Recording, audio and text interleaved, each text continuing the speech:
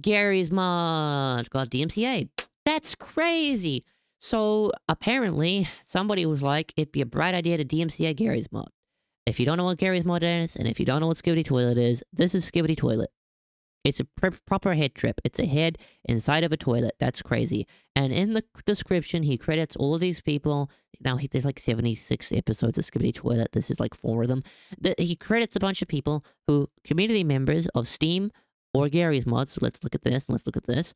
This is from the Source Filmmaker Steam community. This is from the Garry's Mod Steam community. Now, these are community members who have gone, hey, I'm going to make this and upload it because I think it's cool and I want to share it with people. And then people can use it.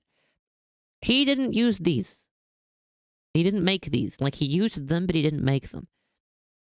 And then this is a head in the toilet. And it's all using source assets. You know why? Because he makes it in Source Filmmaker, uh, animating software made by Valve, which is which uses Valve assets to make things.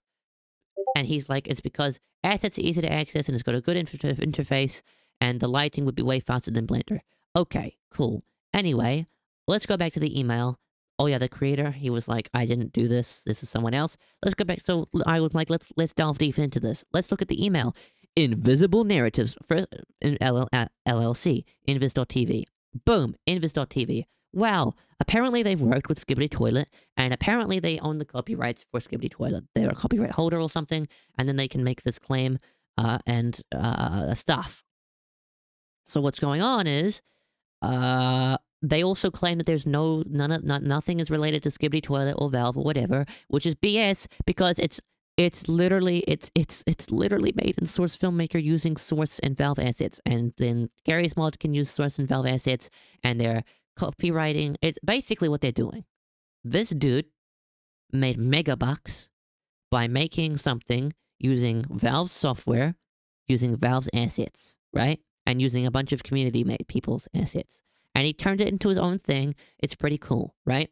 And now what this company is doing is it's going ahead and it is going, hey, I am going to DMCA this person who feature who has the license to use the same assets that this dude used for free. This dude, this is, Garry's mod has the license to allow it to be used in his game, and it's it's stupid.